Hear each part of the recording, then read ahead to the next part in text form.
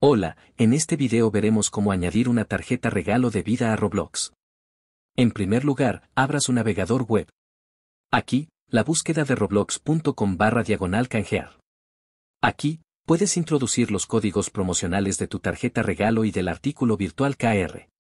Al canjear tu código, declaras que tú y tus padres o tutor legal, si eres menor de 18 años, aceptáis las condiciones de uso, incluida la cláusula de arbitraje y los términos y